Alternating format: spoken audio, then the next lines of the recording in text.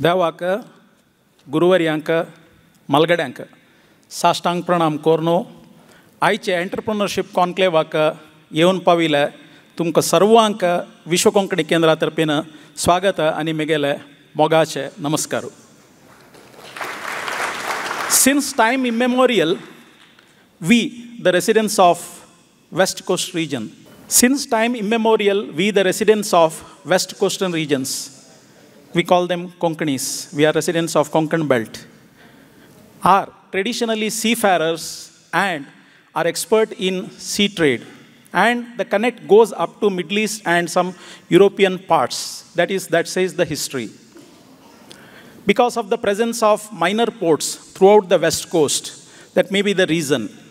But changed social economic and political equations has uh, triggered fourth migration. Today, our uh, youngsters are again in a migration process silently throughout India and across the world.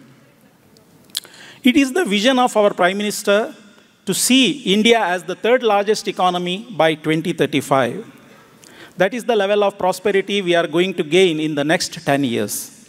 And it is the humble intention at World Konkani Center to see that out of that enriched Bharat, a Konkani person should be in the top 10 of our country. That is the reason for which we are working for that. And the World Konkani Center, you know, it is for the Konkani people. By the way, Konkani people are around 0.19% of our Indian population, and they spread across three religions and over 40 dialects, of which substantial portions are non-Saraswats. It is the dream of our founder, late Basti Vaman Shenoy, about setting up a Vishwa Konkani Kendra, which got materialized in the year 1995 upon uh, first Vishwa Konkani Sammelana, which had a surplus of around 15 lakhs, by which he acquired the land. And in the year 2005, a foundation stone for Vishwa Konkani Kendra was laid. And it is the philanthropist, our uh, patron, P. Dayanand Pai and P. Satish Pai, who actually supported setting up of the World Konkani Center by contributing 1 crore and the World Konkani Center got inaugurated in the year 2009. In the year 2010, visionary of our community, Padma Shri TV Mohandas Pai, on a casual visit, he came to Vishwa Konkani Kendra and his vision was if the language and culture is to be flourished and developed, then our youth should be provided with higher education. And accordingly, the Vision 2030 has been formed so that by the year 2030, no Konkani youth is deprived of higher education for want of money, and that is how Vishwa Konkani scholarship program for engineering and medical started. And I am glad to say that today a sum of 38.4 crores has been disbursed. That is a non-refundable scholarship to the Konkani youth. Not only the disbursal of scholarship, a training program called Kshamata in a year, six days program for the these scholarship beneficiaries was imparted and today as of now around 52000 man hours of training program has been given to all these youth.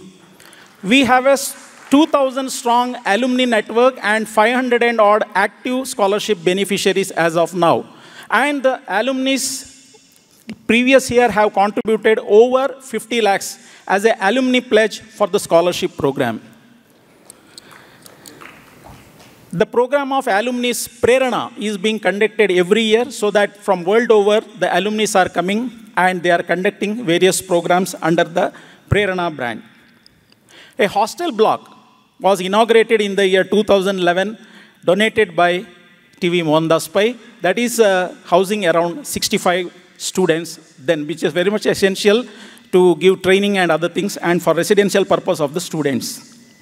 Again, a program called You Get In for the final year degree students of coastal Karnataka government colleges and CA Power 25 has been initiated by our patron Sri K. Ullas Kamath and it is doing wonderful uh, success. CA Power 25 has, has given as much as 51% success rate for those who have attended it. Besides this, Vishwa Konkani Kendra is supporting awards for language, literature work, and social service, which is again supported by TV Mohandas Pai in the name of his parents. Appointing Konkani teachers is the biggest challenge because the government has made third language from 6th standard onwards, Konkani, for which there are no teachers appointed by the government. So Vishwa Konkani Kendra is appointing the teachers for all these schools where this Konkani is being taught and their salary is also paid by Vishwa Konkani Kendra to promote the Konkani language in the schools. A live stream studio has been formed some three, two years back and over 1000 YouTube videos are there in the content.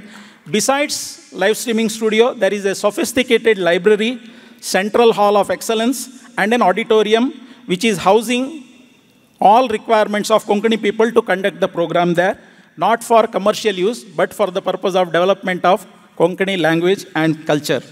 And we have a plan to have a UPSC initiative in the year 2024 to see that at least every year, at least one or two Konkanis are there in the final IAS selection process network with the like-minded organizations like Saraswat Chamber and uh, UK & Co. and Canara Chamber of Commerce and Industry is also being done. And there is a social initiative called Samahita, Samajahita, which is like identifying a gifted child. Through Mensa International, we have conducted that exercise and we have identified 10 children in that particular scheme. Women entrepreneurship, Udyam Prerana for college going girls. These are some of the programs covered there.